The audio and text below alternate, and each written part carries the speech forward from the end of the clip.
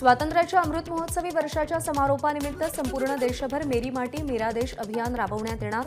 या अभियानाअंतर्गत वर्धा जिल्ह्यामध्ये पंचप्रण शपथ घेण्यात आली. विदर्भातील गडचिरोली आणि गोंदिया जिल्ह्यापाठोपाठ आता चंद्रपूर जिल्ह्यामध्ये हत्ती दाखल. वनविभाग हत्तीच्या हालचालींवर लक्ष ठेवून असल्याची माहिती. तब्बल सात तासांच्या प्रयत्नानंतर बोरवेलच्या खड्ड्यात पडलेल्या मुलाला बाहेर काढलं. परभणीच्या मानवत तालुक्यातील उक्कलगाव शिवारातली घटना.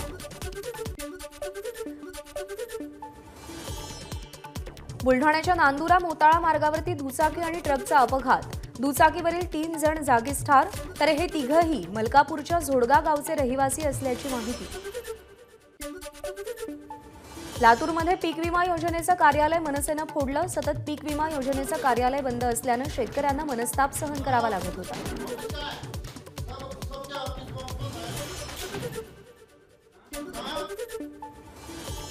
सांगलीच्या जिल्हाधिकारी कार्यालयासमोर जत तालुक्याच्या सीमावर्ती भागातील पाणी संघर्ष समितीचं धरणे आंदोलन. दुष्काळग्रस्तांच्या मागण्यांबाबत पूर्तता करण्याचा सरकारला इशारा.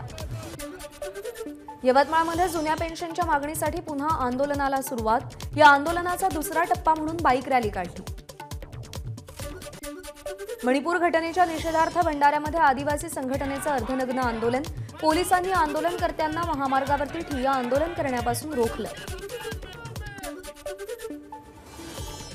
मणिपूर हिंसाचाराच्या निषेधार्थ बीडच्या जिल्हाधिकारी कार्यालयावरती आदिवासी संघटनेचा भव्य मोर्चा चिमुकल्यांचा पारंपरिक वेशभूषा परिधान करून मोर्चात सहभाग.